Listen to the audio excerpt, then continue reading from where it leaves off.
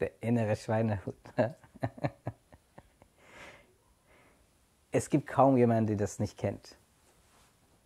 Die Frage ist, was wäre, wenn der innere Schweinehund auf deiner Seite wäre und dich unterstützen würde? Ist dir schon mal der Gedanke gekommen? Es ist ja irgendwas, was du die ganze Zeit mit dir herumträgst, richtig? Es ist ja nicht irgendjemand, der zu dir kommt und sagt, nein, bleib noch länger im Bett. Nee, ruf die Kunden nicht an. Nein, mach das nicht. Sondern das bist du. Aber wenn du es bist, es ist ja kein Kampf, wenn ich meine Hand hier ausstrecken will, dann strecke ich es aus. Da ist der innere Schweinehund entweder nicht dabei oder er diskutiert, mich nicht darüber, er diskutiert nicht mit mir darüber. Das heißt, es gibt bestimmte Bereiche, wo ich mich selber teile. Ein Teil von mir ist der innere Schweinehund und ein Teil von mir ist, wie auch immer du das nennen willst. Wenn ich es schaffen könnte, diese beiden zu vereinen, so dass wir ein gemeinsames Ziel haben, dann hätte ich doppelt so viel Kraft. Und ich würde weniger kämpfen. Es ist interessant, wenn du dann halt morgens aufstehen willst, dass ein Teil von dir mit dir diskutiert. Warum diese Spaltung? Wie kommt es, dass jemand sich von sich selber trennt oder sich teilt und dann halt das verwendet gegen sich selbst. Es ist ja praktisch so, als würde ich meine Hände die ganze Zeit gegeneinander drücken. Das kostet mir nicht nur viel, sehr viel Kraft, äh, das hält mich auch davon ab, irgendwie auch die Sachen zu machen, die ich machen will. Das heißt, ich habe mich geteilt und ich kämpfe die ganze Zeit gegen mich selbst. Es ist anstrengend. Es ist sehr aufwendig. Und mit der Zeit bekomme ich sogar diese Einstellung und diese feste Überzeugung, dass der innere Schweinehund eine eigene Existenz hat unerschütterlich. Und der ist stärker als ich. Das heißt, es ist nicht mal so in der Mitte halbiert. Ich habe praktisch sowas wie 60 Prozent oder 51 Prozent mindestens von mir eine eigene Identität gegeben, der gegen mich arbeitet. Wenn ich das auf meiner Seite bringen könnte, dann habe ich erstens diese Kämpfe nicht mehr und ich bin mindestens doppelt so stark. Ich kann meine Ziele einfach gerade durchsetzen. Ich bin mir sicher, du hattest irgendwie halt auch solche Zeiten gehabt. Als du jünger warst vielleicht oder in Momenten, wo du dann diese Gedanken nicht hast im Urlaub oder so manchmal, dann denkst du, okay, hier, na, wir gehen jetzt das Ding angucken. Manchmal bist du mit bestimmten Freunden unterwegs. Dann sagst du, wollen wir da hingucken? Allein schon, dass die Freunde in der Nähe sind, sagst du, okay, machen wir.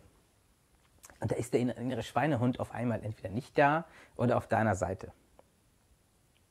Was auch irgendwie sehr stark damit verbunden sind, sind Schuldgefühle. Du denkst dir, okay, der innere Schweinehund hat wieder gewonnen. Und du spürst einfach diese Schuldgefühle, dass du sagst, okay, scheiße. Du hast gewisser Art das Vertrauen in dir selber verloren. Kann ich mir selber vertrauen? Was ist, wenn der innere Schweinehund in mir gewinnt? Und ich kann das doch nicht machen. Du kannst keinem eine Garantie aussprechen und sagen, okay, ich bring dich durch. Ich muss erstmal meinen inneren Schweinehund fragen, ob er mir das erlaubt. Die Tatsache, dass du nicht diesen inneren Schweinehund stoppen kannst, zeigt, dass du in einer Wirkungsposition dazu bist. Der ist stärker als du. Das heißt, alleine kannst du es auch nicht besiegen.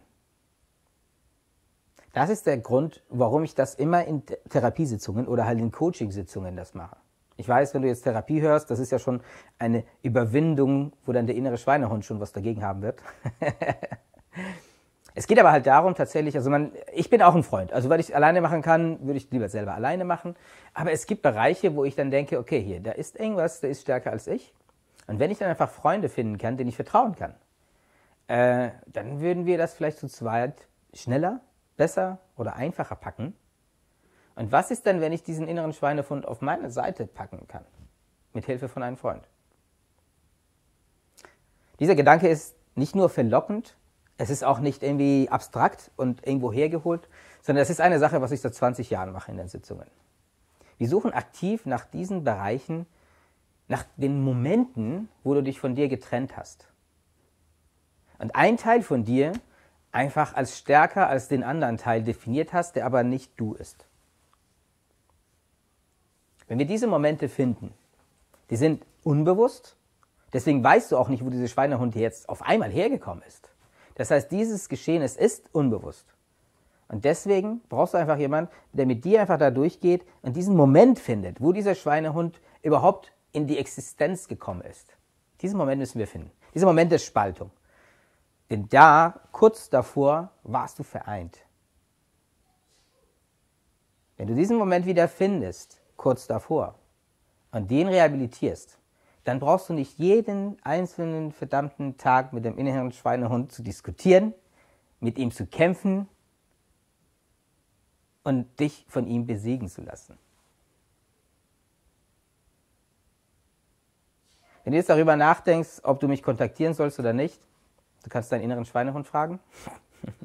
oder alle Kräfte, die du noch irgendwie zusammensammeln kannst, einfach sammeln und wir werden den inneren Schweinehund das Laufen beibringen, sodass du sagen kannst, sitz.